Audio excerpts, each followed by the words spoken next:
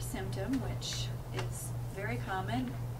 It would be the fine lines and wrinkles, as Dr. Kim was noting about. That's one of the first signs that you see. And there are some ingredients that are very helpful with the collagen production, which you start to lose when you have the fine lines and wrinkles. And one of the main ingredients would be vitamin C. And we have this DeVita C serum, which is packed with vitamin C. In fact, it's seventeen percent vitamin C. And vitamin C applied topically is just a wonderful ingredient to use and also, of course, internally as well.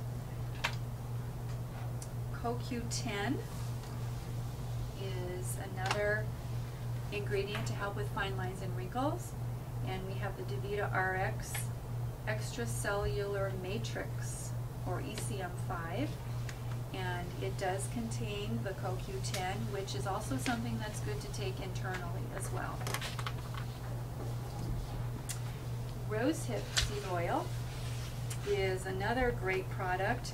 Rosehip seed is high in vitamins A and vitamin C, which can help with free radical damage and promote more elasticity to your skin. So we sell this Life Flow Pure Rosehip Seed Oil, which is a really great ingredient.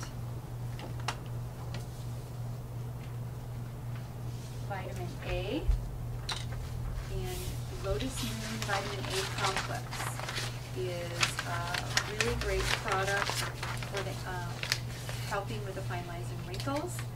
It speeds up cellular renewal and increases production of pro-collagen.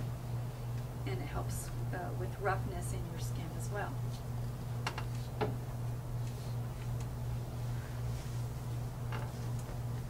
Hyaluronic acid is a very common ingredient in a lot of our anti-aging products.